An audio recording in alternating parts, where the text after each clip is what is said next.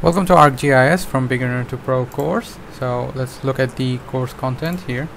So the course is divided into 10 sections. As you can see there are 10 sections but there is also another section called the bonus section. So if you take that into account there are actually 11 sections in this course. So these are the sections and how many videos each section holds so let's first look at the first section which is the introduction section introduction section. It has three videos. So the first video of the introduction section is based on concept related to spatial data analysis and uh, what we are going to be looking at in this course a bit of that as well. And in the second video we have the I have listed out the software which will be used so that you may check that you are if you have already have that software or if you need to download those software and in the third video is the introduction to ArcGIS. Here I showed you the website of ArcGIS software the official website and how you can download it from how you can download the trial version from there the 21 day trial version that they offer and that was it in this section. And then we have the next section which is the ArcMap basics section. So this section has 12 videos. So the first video is on the interface. In this video we're going to learn a, bit about the interface how you can input data there and how you can link folders all those things. And the, then the second video is on geodatabase. So we're going to see how you can use the geodatabase and how you can uh, link the geodatabase according to your needs. In the third video uh, I have talked about the attribute tables of shapefiles uh, if you don't know what shapefiles are yet uh, you'll uh, be able to know what they are once you start the course. And then the fourth video is on making selections. The fifth video is on zooming how you can zoom. The sixth video is on magnify. Magnify in ArcMap is actually another way of zooming. And then the seventh video is on coordinate systems and measure. So uh, I wanted to make these two topics into two videos but somehow it seemed that it would be better if I discussed both of these things in a single video. That's why this video has two topics and then in the next video the eighth video we have change color of shapefile so in this video we're going to learn how we can change the color of shapefiles and in the next video we have adding fields and calculating geometry. In this video we're going to see how we can uh, add new columns to our attribute table and how we can calculate land area using this software and then we have uh, the 10th video which is how to add population or any other data. We're going to see how we can uh, input any data for example population rainfall or soil classification based on area to our attributes table. And then in the 11th video we're going to see how we can save or export new shapefiles so uh, it is not basically saving it is exporting a file as a new shape file after we have worked on that file. And then in the 12th video we're going to see how we can add labels okay so that was it in this section. Let's move on to the next section. This next section is on geoprocessing.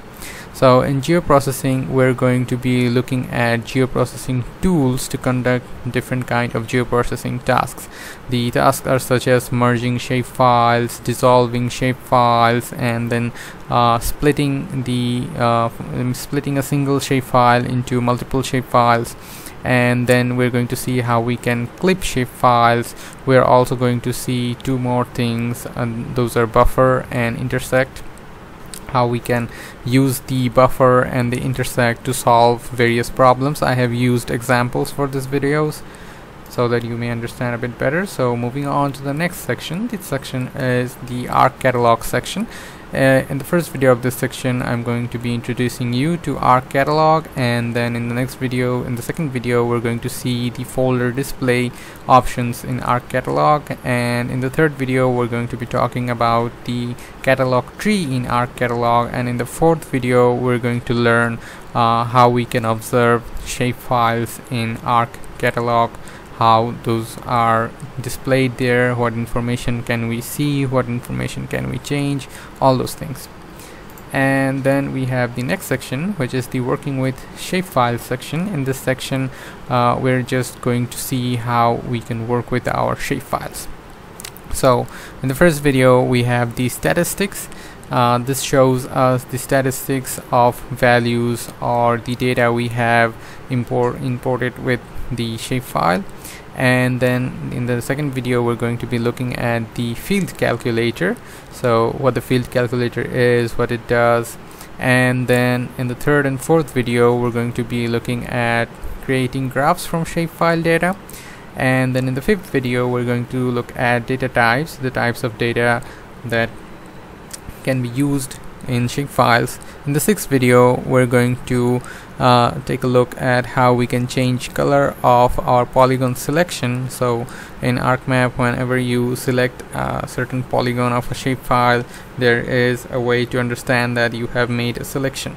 So that selection actually happens with a certain color or a border color. So we're going to see how we can change that selection color and then in the seventh video we're going to be talking about the shapefile transparency. For example if you have two identical shapefiles representing different kind of values and they're above one another but you need to see both of them then shapefile transparency is very useful.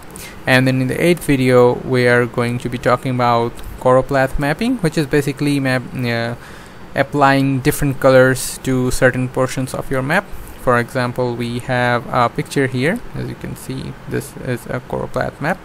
And then we have choropleth mapping part 2 so the choropleth mapping is actually video 8 and video 9 both both videos are on the same topic. So let's move on to the next section. The next section is the map making section. This section uh, is a section that is valued by many students and most people actually uh, enroll into courses just to learn this thing. Okay but so we're going to be looking at that as well. Now we have six videos on map making. The in the first video we're going to be making just a simple map to understand the concept of map making. In the second video we're going to see how we can edit our legend. And in the third video we're going to see how we can add different variables of data into our legend most legends actually have one kind of data. For example if a legend contains the data of names or it contains the data of a certain thing. For example it will contain population or it will contain rainfall data but in this video we're going to see how we can add multiple legends. Okay? And then in the fourth video we're going to see how we can add a base map uh, behind our map so that it gets a better look.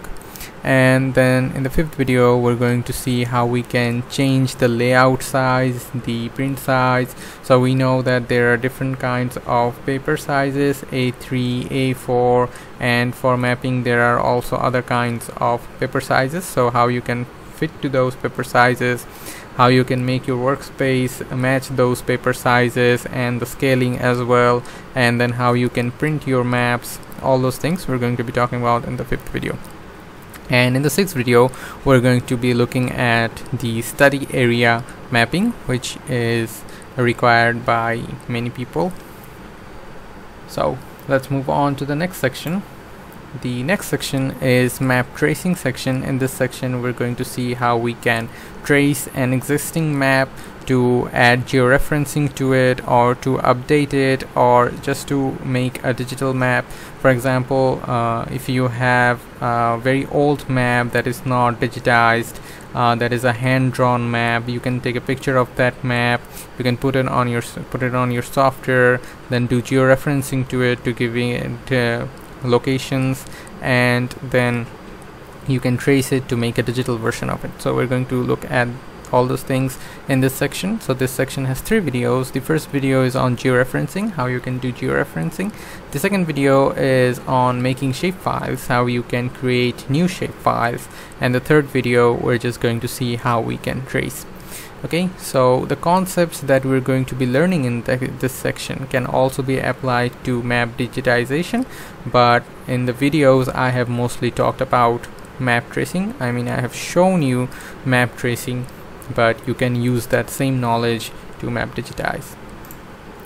Now we have the Google Earth and ArcGIS section. In this section we're just going to see the bridge between ArcGIS and Google Earth so in the first video we're going to see how you can project a shapefile of ArcMap on Google Earth Pro. And in the second video we're going to see how you can make shapefiles for your ArcMap software using Google Earth Pro.